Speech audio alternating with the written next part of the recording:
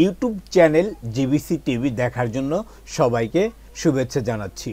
আপনারা দেখতে পাচ্ছেন মাওয়াঘাট থেকে কাওড়াকান্দি যেতে যে নৌপথটি ব্যবহার হয়, সেটি পলি জমাটের কারণে ফেরি এবং ছোট লঞ্চগুলো চলাচলে ব্যাহত হচ্ছে, যার কারণে বাংলাদেশ সরকার উদ্যোগ নিয়ে ড্রেজারের মাধ্যমে এই নদীটাকে খনন করে এটিকে আবার গভীরতা ফিরিয়ে দেওয়ার চেষ্টা করে যাচ্ছে সার্বক্ষণিক।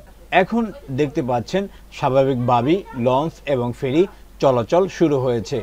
কিছুদিন আগেও এটি পলি উর্বরের কারণে বন্ধ ছিল এই লঞ্চ চলাচল এবং ফেরি চলাচল। এখন বর্ষা মৌসুম। বেশ ঢেউ আর জোরালোভাবে বিভিন্ন ধরনের ঝড়, বৃষ্টি হয়ে থাকে। এখান থেকেই প্রতিনিয়ত লঞ্চ ছোট নৌকা এবং ট্রলার, এছাড়াও স্পিড বোট এর মাধ্যমে প্রতিনিয়ত হাজার হাজার নয় লক্ষ লক্ষ মানুষ চলাফেরা করে প্রতিদিন। আর যারাই চলাফেরা করে, তাদের সবাইকেই সচেতন হওয়া দরকার।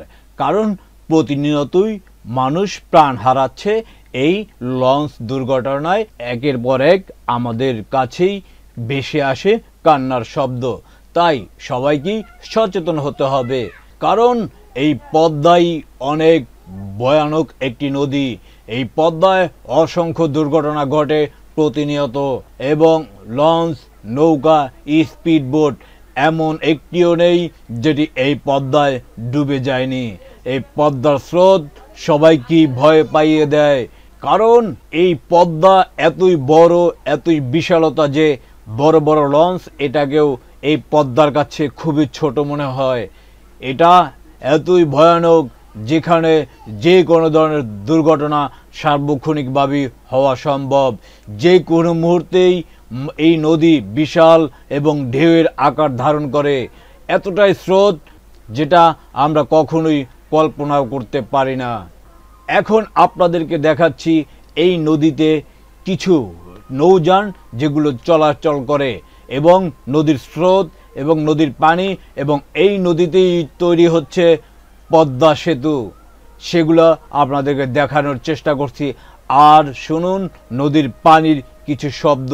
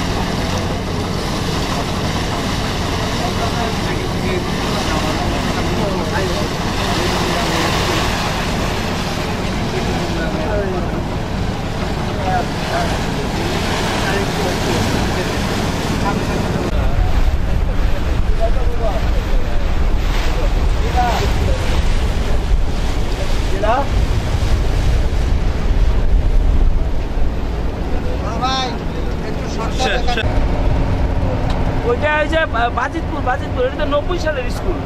দাদা ওটা তো নব্বই সালে, উনিশশো নব্বই সালে। বাজিতপুর। হ্যাঁ হ্যাঁ।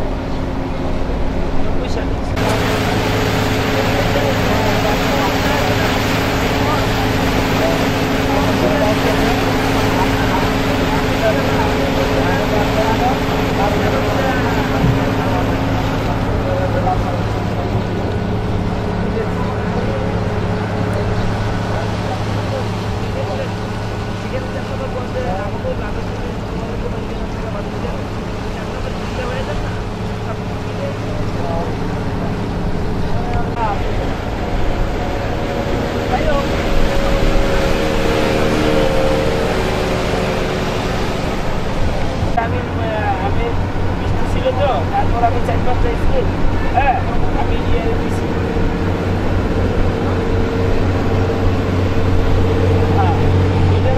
করে দিছেন কথা বোঝেন নাই?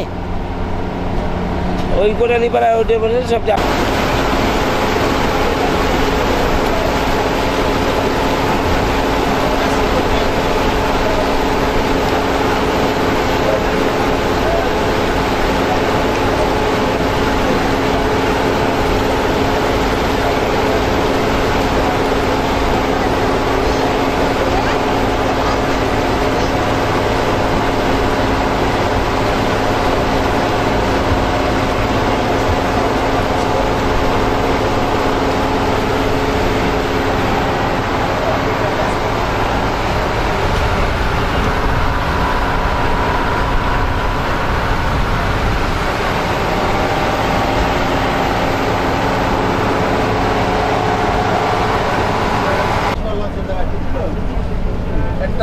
চাইলে আর কথা ছিল না। ব্যাপারে অফিসে তখন আমরা বসা।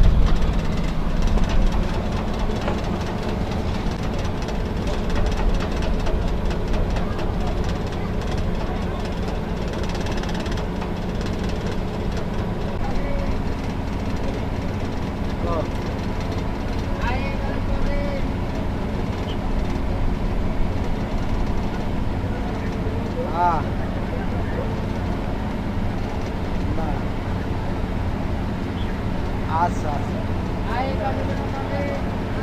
হ্যাঁ এটা তো এটা তো হ্যাঁ এটা এটা এটা আমরা তো বাইক চালাবো আমরা বাইক আমরা